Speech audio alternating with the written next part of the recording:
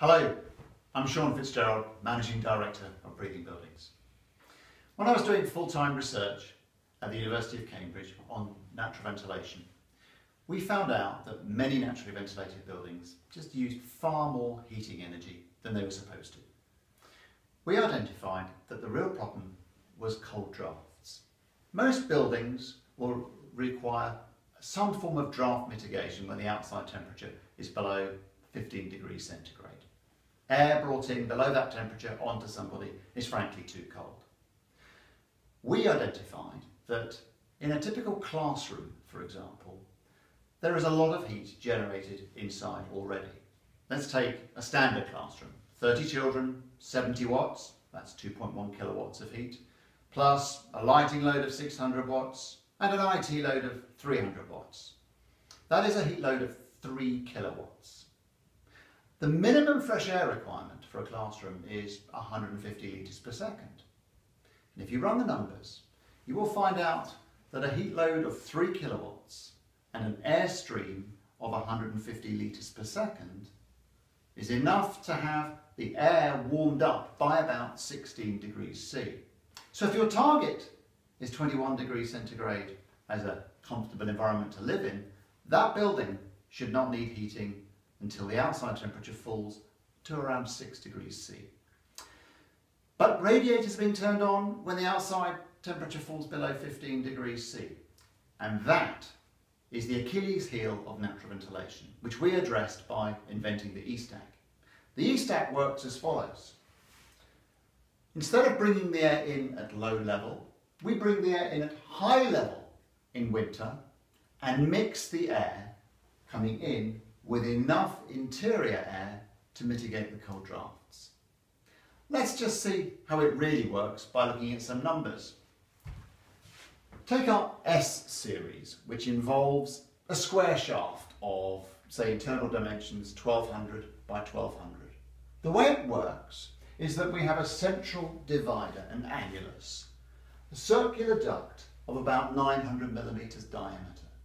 And what we do is that we bring air in through the middle of the shaft at fresh air requirement 150 litres per second and we mix it with warm room air. On a cold winter day when it's 5 degrees centigrade outside and your target temperature in the classroom is 20, 21, when you run the numbers what, what you find is that you need to mix something like 300 litres per second of warm room air with 150 litres per second of cold fresh air.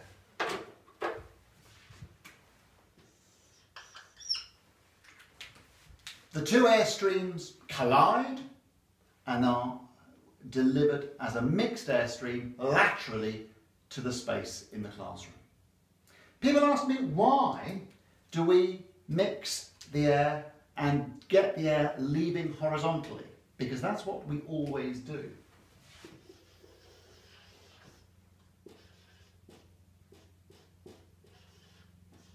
That's our mixing chamber. The easiest way to think about it is if we didn't deliver the air horizontally, what would happen? So let's go and look at what happens if you deliver the air vertically. An alternative, one might think, is that you're going to have mixed air coming down through the middle of the shaft. On a cold winter day at 5 degrees centigrade, you need to mix that 150 litres per second of cold air with 300 litres per second of warm room air. So if you make a heroic assumption that you can actually get that mixed airstream 450 litres per second now delivered downwards through a shaft annulus of 900 millimetres diameter, you're left with, unfortunately, a further problem.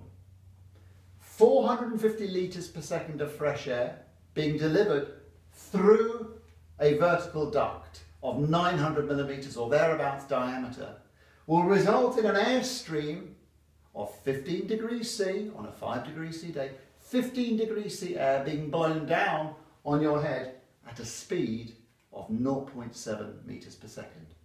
Think about it. 15 degrees C air being blown down at 0.7 metres per second constitutes a cold draft. Fortunately, the new school regulations tell us that it isn't just about the temperature of the air hitting somebody that needs to be within 5 degrees of the ambient, it needs to be slow. It needs to be less than 0.25 metres per second onto somebody. So that's why we don't have mixed air being delivered vertically in our systems. It simply fails to meet the new school regulations.